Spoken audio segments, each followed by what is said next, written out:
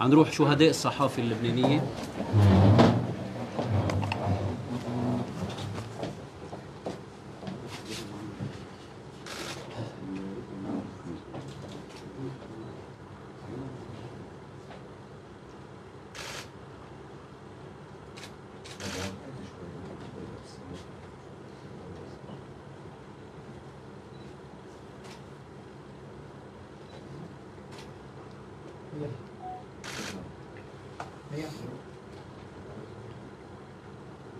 تفضل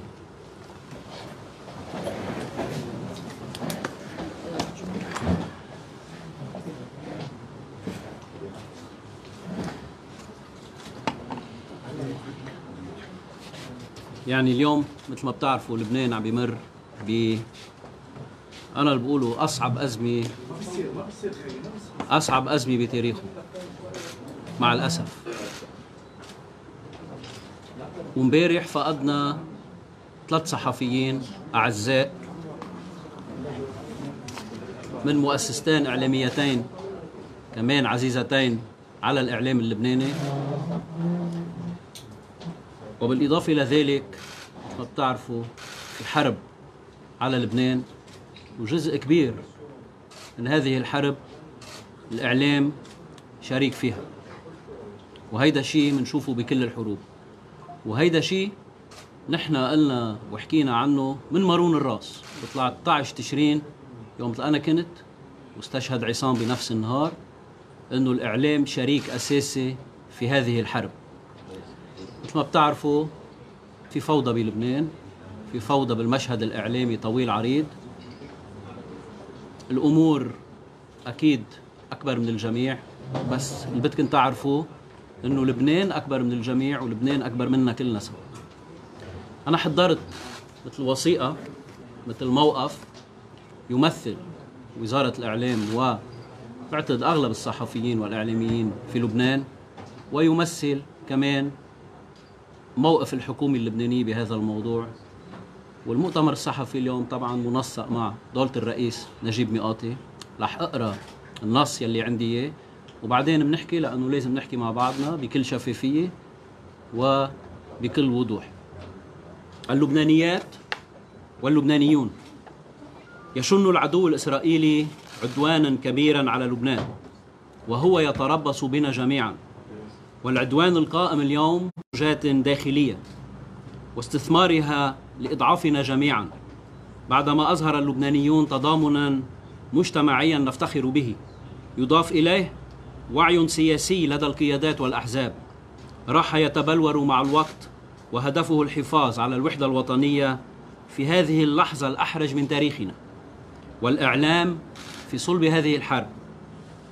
إما أن يرتقي إلى مستوى المسؤولية الوطنية ويساهم في تعزيز الوحدة الوطنية وصونها وحماية البلد وإما أن ينزلق إلى الخلافات والتشنجات فيصبح خطرا علينا جميعا. حرية الإعلام بالنسبة إلينا وكما عاهدتموني مقدسة. اتمسك أتمسك بها وأدافع عنها. صحيح أننا في لبنان نتمتع بحرية التعبير وحرية الإعلام لكن هذه الأخيرة ينتفي هدفها ورسالتها حين تسقط في فخ الخلافات والسياسات الضيقة أو حين لا تترافق مع حرفية عالية وخبرة كبيرة في التعامل مع الخبر خصوصا في زمن الحرب الرديء. يواجه الإعلاميون اليوم صعوبات عدة ويعرضون حياتهم للخطر من أجل نقل الحقيقة وإيصالها إلى الجمهور. وهذه رسالة شكر وتحية لكل هؤلاء من دون استثناء. ولكن يا للأسف يوجه العديد من اللبنانيين اللوم إلى الإعلام ويذهب البعض بعيدا ويقول إن الإعلام يخدم مصالح العدو وهذا ما هو في الغالب مبالغات. الإعلام ليس مسؤولا عن الحرب القائمة اليوم في لبنان ولكن عن قصد أو عن غير قصد يمكن أن يضفي الإعلام شرعية على هذه الحرب ويسهل مهمة العدو الداخلية. بالرغم من ذلك لابد من التشديد على أننا لسنا أمام حرب أهلية داخلية لكي يقف الإعلام طرفا فيها مع هذا الفريق أو ذاك ويساهم من موقعه في مجهود حربي ما إيديولوجي أو طائفي وهذا بذاته إشكالي. نحن أمام حرب يشنها العدو الإسرائيلي ضد لبنان. لبنان الأرض لبنان الشعب ولبنان التاريخ. هذه حرب إسرائيلية على لبنان تأتي بعد إبادة غزة. ومن موقعي وزيرا للإعلام أعرض عليكم رؤية وعناوين عريضة علها تشكل مرجعا للصحافة والإعلام مرجعا وطنيا وأخلاقيا بالدرجة الأولى. وهذه المبادئ تضع الإعلام أمام مسؤولياته وهي أولا حماية المدنيين وهي الأولوية القصوى أي عدم الانجرار وراء تحويل رسالتنا إلى مصدر خطر يجعل المدنيين عرضة للخطر والاستهداف العسكري. كما أن حماية المدنيين تتطلب حماية كرامتهم وعدم استخدام واقع النزوح واقع يساهم في إشعال نار الفتنة الداخلية. ثانيا التحقق من جرائم العدو ونقل صورتها إلى العالم من أجل الدفاع عن لبنان والمساهمة في أرجف في أرشفة التعديات وجرائم الحرب وذلك من أجل استخدامها شهادات في مقاضاة إسرائيل أمام المحاكم الدولية. ثالثا التمسك بالمواقف الوطنية وأخلاقيات الصحافة المسؤولة والتي تتطلب منا صون التماسك الاجتماعي.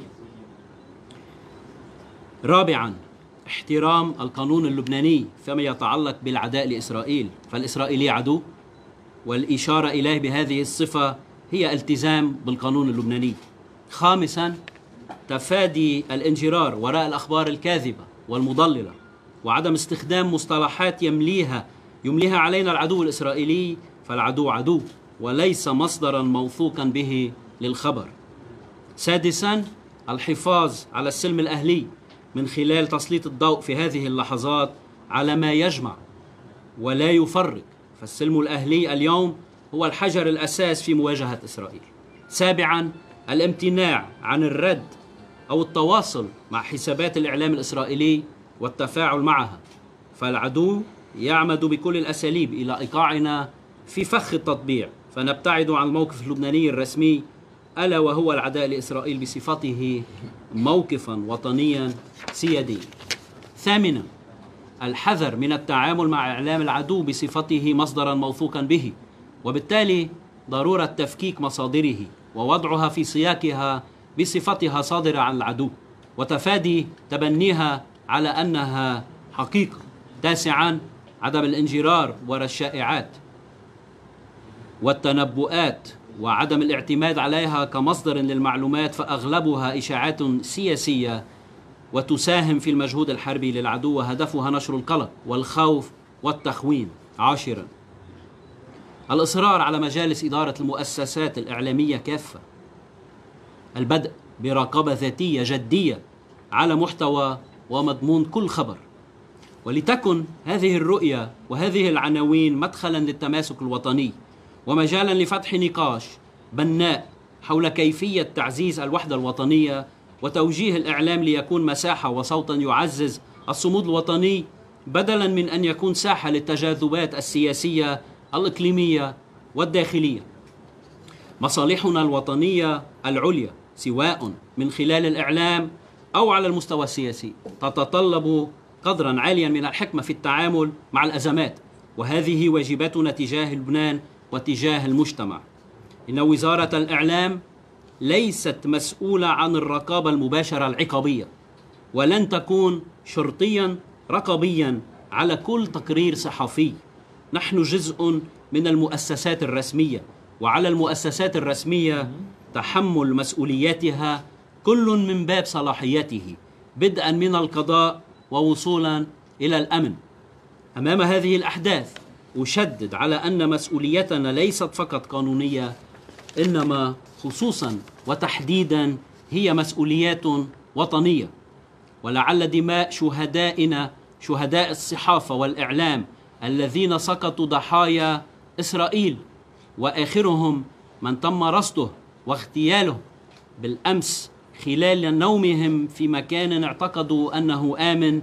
لعلها تكون أكبر عبرة لنا جميعا بأن العدو لا أمان له ولا قواعد يحترمها من هنا أتوجه إلى كل صحفي وكل صحفية وكل إعلامي واعلاميا ومغرد أو مغردة مسؤولياتكم الوطنية وليكن هذا النداء مرجعا اخلاقيا لنا جميعا دفاعا عن لبنان وأبنائه. بدي اشير كمان على إنه الحكومة أخذت الإجراءات يلي بتقدر تاخذها والمتعلقة باغتيال الصحفيين ومحاولة قتل الصحفيين الآخرين بحصبية. نحن صار في امبارح آه اتصال بين آه رئيس الحكومة ووزير الخارجية اللي موجودين خارج لبنان ووزارة الخارجية تقدمت آه ضمن صلاحياتها كمان بقول بشكاوى وكتب إلى المفوض السامي لحقوق الإنسان والمقرر الخاص لحماية حريات الرأي والتعبير في جنيف.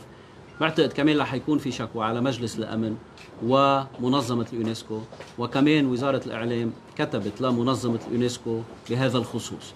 نحن مع الأسف لبنان منه ما ما وقع آه اتفاقية روما. تنقدر نحن نروح على المحاكم الجنائية الدولية وأنا بريد إنه الكل يعرفوا هذا الموضوع لأنه نحن دائما عم نسال إنه ليش ما بنروح على هيدي المحاكم وإلى آخره نحن ما فينا نروح على هيدي المحاكم بكل بساطة لأنه نحن ما وقعنا اتفاقية روما ولكن هذا ما بيمنع إنه عم نحاول إنه نلاقي نافذة إنه نفوت منها بإنه نتشكى على إسرائيل بهذا الموضوع. هون كمان أنا اللي بدي أقوله أنه الخطر يلي بيطال الصحافه المحليه الموجودة بلبنان هو بيطال كمان من إسرائيل الصحافة الأجنبية الموجودة بلبنان. بحب أقول لكم أنه نحن لحديث اليوم من 9 أكتوبر صار عندنا 1638 صحفي أجنبي. هذا رقم منه صغير عم نحكي عن 52 جنسية موجودة بلبنان. فبنقول للمجتمع الدولي إنه هيدا موضوع منه مزحه ولا بالنسبة لنا ولا بالنسبة لهم، في مسؤولية مشتركة بهيدي الحرب وبإيقاف هذا القتل واليه وآلة القتل. كمان اللي بحب أقوله إنه منأكد طبعا على علاقتنا المتينة مع المجلس الوطني للإعلام ومع النقابات كلها المعنية وكل المؤسسات الإعلامية على يعني جميع آه خليني أقول قناعاتها وجميع وجميع آه تطلعاتها السياسية. نحن كوزارة إعلام نفتخر أنه قدرنا نسجن علاقات طويلة عريضة ومتينة مع كل هذه المؤسسات. ونحن رح نتواصل مع كل مؤسسة. يمكن عليها خليني أقول ملاحظات أو لغط أو شكاوى و... وإلى آخره. في مواضيع بتنحل ببيتنا الداخلي وفي مواضيع بدها تروح بطبيعة الحال على القانون. نحن بوزارة الإعلام أخذنا إجراءات معينة عم تنشغل بالوزارة ومنها اولا رح يصير في مكتب تابع للوزارة وموجود هو هون بمكتب وزير الإعلام لرصد كل الأخبار الزائفة وكل الأخبار يلي عم بتكب عم عم ترمي خليني أقول عم ترمي حرام وعم تعمل توترات طائفية وحزبية ومجتمعية وسياسية على منصات التواصل الاجتماعي. رح يكون في فريق مرتبط مباشرة في ومرتبط بالوكالة الوطنية للإعلام. عم نحكي عن يعني شيء اسمه فاكت تشيك لبنان. رح تبلشوا تشوفوه ورح تبلشوا نكذب كل خبر زائف وبنتمنى إنه مثل ما وكالة الوكالة الوطنية للإعلام عندها مصداقية أمام اللبنانيين وأمام حتى يعني الصحافة الأجنبية والسفارات كلها رح يكون في هذه المنصة كمان بنتمنى انكم تتعاونوا معها لضحض كل الأخبار الزائفة اللي عم تعمل توترات بالبلد. ثلاثة كمان عندنا اتصالات مع كل الأجهزة الأمنية من أمن دولي من أمن عام من مخابرات جيش من جرائم معلوماتية وشعبة معلومات كمان لرصد كل حدا عم بي عم بيوتر الأجواء بشكل خطير وبشكل وبي بيهدد السلم الأهلي والتعاون موجود. وإذا أنتم يعني ما بتعرفوا يعني ما بيبين على الإعلام شو عم بيصير إنما لأنه نحن منا ما حدا يعني بده آه، ياخذ خليني أقول كريدت بهذا الموضوع. بالعكس نحن بدنا نشتغل ونحن بدنا نحمي البلد ونتمنى انكم تكونوا كلكم شركاء بهذا الموضوع. بقول كمان إنه نحن من أسبوعين وزارة الإعلام أصدرت آه، بيان وحكت عن مواد بالقانون يلي هن المادتين 295 296 من قانون العقوبات يلي بتنص على معارض كل من يضعف الشعور القومي أو يوقظ النعرات أو ينقل أخبار ينقل أخبار كاذبة أو مبالغا فيها في زمن الحرب.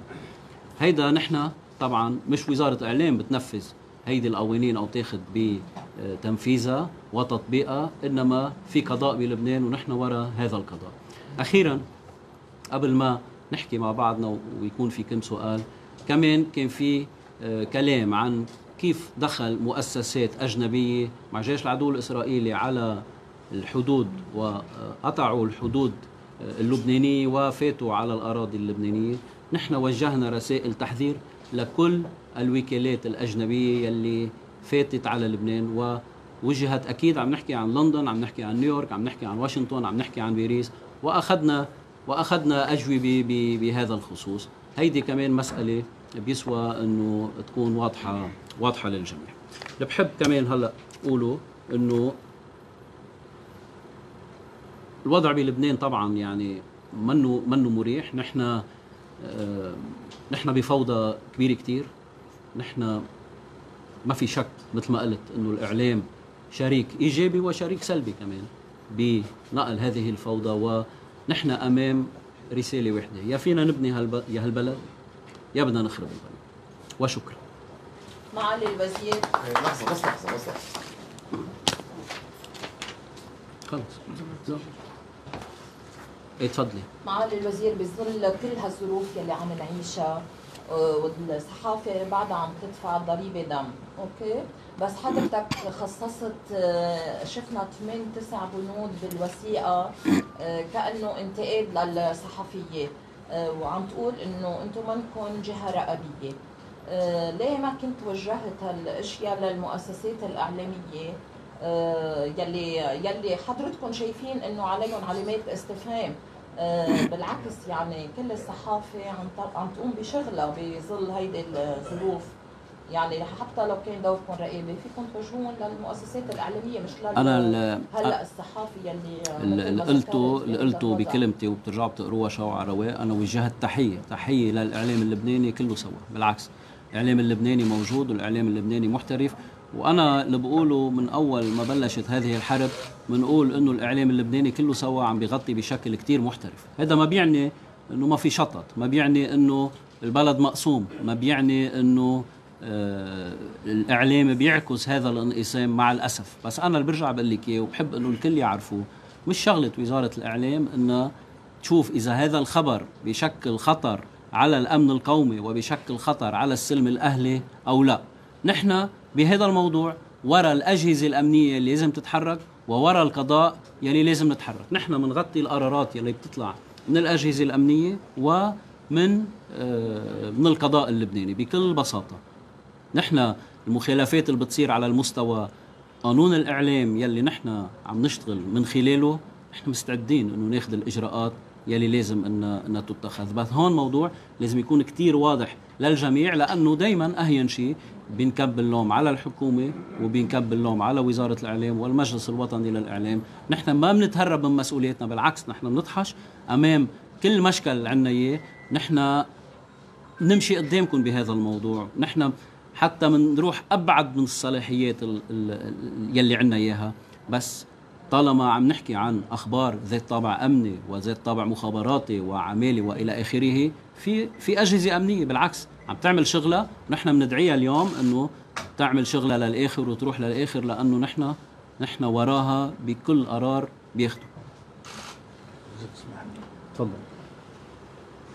اولا الرحمة على كل هالشهداء شهداء الصحافه اللي عم بيقدموا أرواحهم وعم بيقدموا كل ما فيهم إنه يقدروا يأدوا هالرسالة هاي.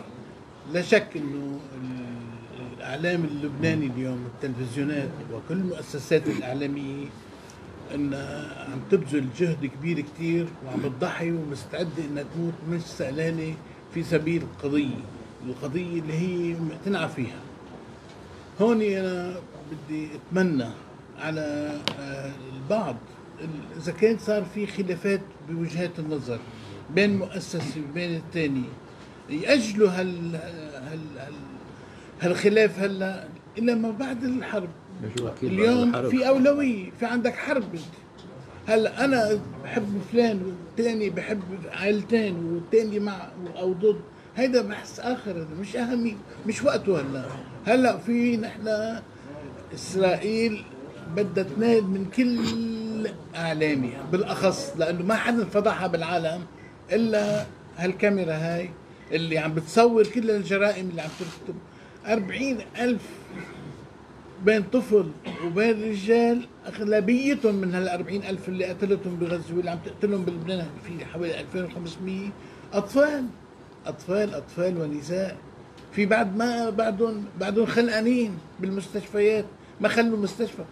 30 مستشفى بقلب غزة. وهاي امبارح كان وزير الصحة عم بيقول صاروا 15 آه، آه، مستشفى عم آه، مهددين بالتوقف وعم يجوا عليهم على المستشفيات. ف اسرائيل اليوم صار الرأي العام بكل العالم صار مع الفلسطينيين صار مع قضية الحق.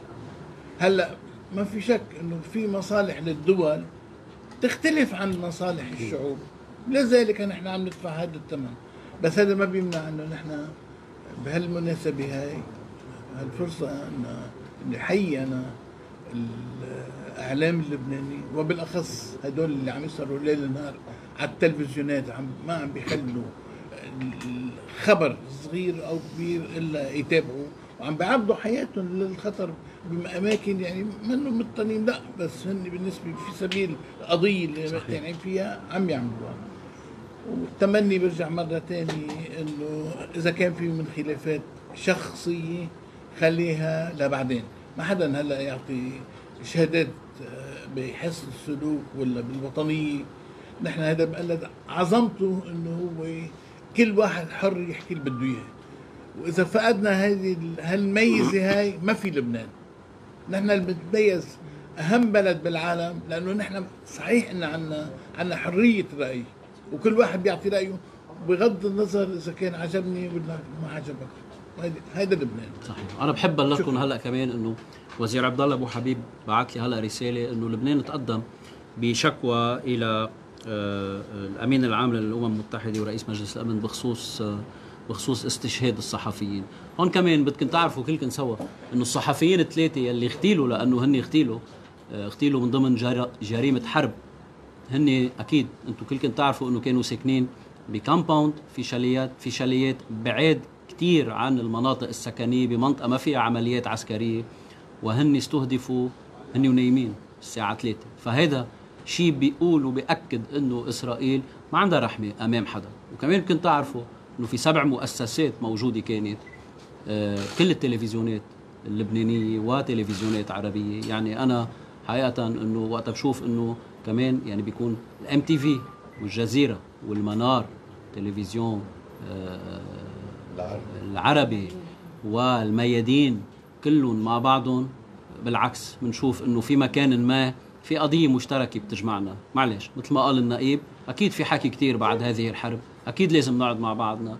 أكيد في أمور مش راكبة بالبلد. بس نحن ما عنا خيار حقيقة غير أنه نكون كلنا مع بعضنا. أنا دايما بقول يمكن في ناس بيقولوا نحن بمركب واحد معلش أنا راح أقول نحن بعدة مراكب بس نحن بعاصفة وحدة بالنهاية. إذا ما وقفنا حد بعضنا العاصفة رح تاخذنا كلنا سوا. عليك عادة عادة حضرتك بتقول إنه اللبناني بيتقدم بشكوى بس ما بيجي جواب. طب هيدي الآلية يعني لأيمتى نحن بدنا نضل ما عندنا جواب؟ وهيك. طالما طالما نحن منا أعضاء ب يعني خليني أقول آه، بالمحاكم الدولية والمحاكم الجنا- الجنائية رح نضل هيك. يعني أنت ماكسيموم بدك تاخذي من مجلس الأمن بدك تاخذي إدانة وبدك تاخذي شو ما كان. حتى لو أخذتي يعني قرار مثل 1701 أو مثل ما بعرف أي قرار أنتم بتعرفوا إنه يعني العدالة الدولية مع الأسف توقف على أبواب على أبواب إسرائيل. وأنا إذا كنا نحن عم نتشكى على الأمم المتحدة الإسرائيلية عم بيقصفوا الامم المتحده بالجنوب يعني انه نحن عم نتشكى على الناس عم بياكلوا قتله مثلنا كمان أوكي جديد